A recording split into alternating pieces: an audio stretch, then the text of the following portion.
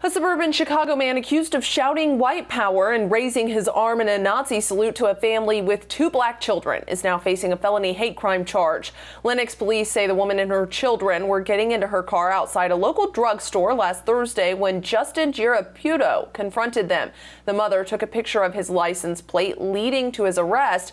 He was released from Will County Jail after posting $5,000 bond. Katie Johnston for CBS Chicago.